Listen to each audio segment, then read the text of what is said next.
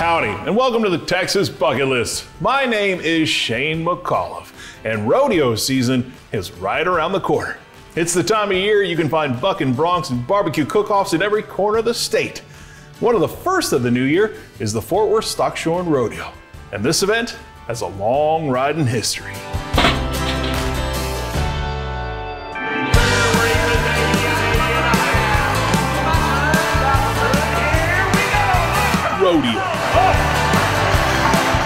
Part of who we are as Texans, the official sport of the Lone Star State.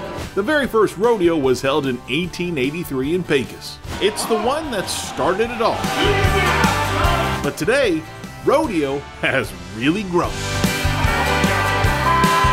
The Fort Worth Stock Show and Rodeo is considered the granddaddy of all Texas rodeos, as it was first held in 1896, and it's been continuously running ever since. Rodeo's just got a special part. It's a special part of who we are and what we do. Matt Brockman has been a part of the Fort Worth Stock Show and Rodeo since 2008.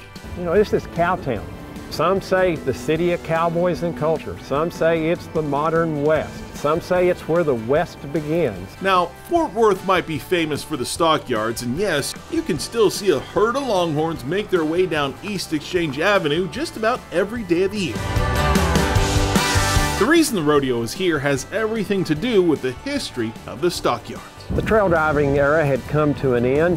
The Fort Worth Stockyards, though, had been established and um, was a major location where cattle were driven to and sold but there was no place to harvest them, to process them. They were loaded into rail cars and shipped off to Chicago and Kansas City.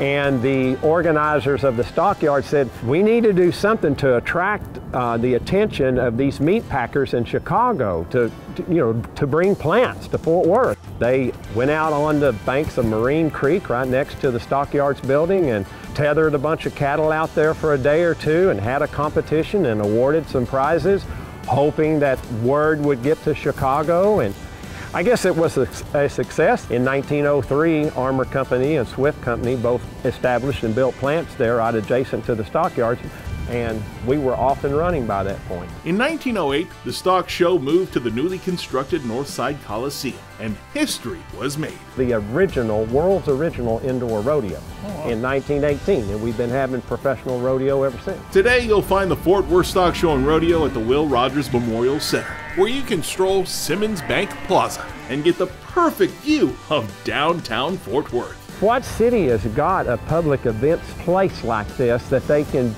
come year-round and experience what makes Fort Worth so unique and special.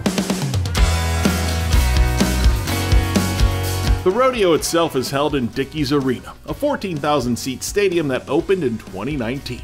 It pays homage to the history of the stock show and rodeo by having the exact same attributes as the former arena. The footprint of that actual competitive arena is the same footprint that we had in the Will Rogers Coliseum.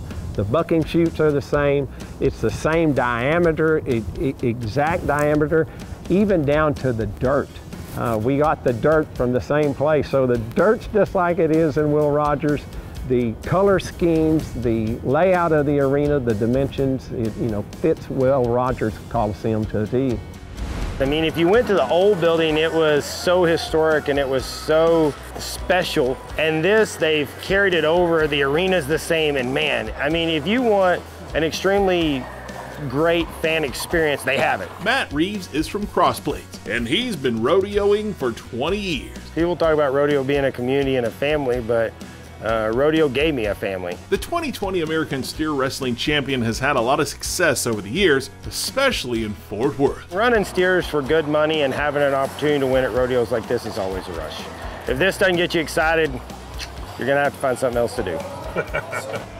I could not imagine doing anything else with my life right now. On the stock show side of things, you've got students like Emerson Dean from Decatur. I've been showing since I was in fourth grade, so about nine years. She is one of hundreds of 4-H and FFA members from 239 out of Texas's 254 counties that are represented at this stock show.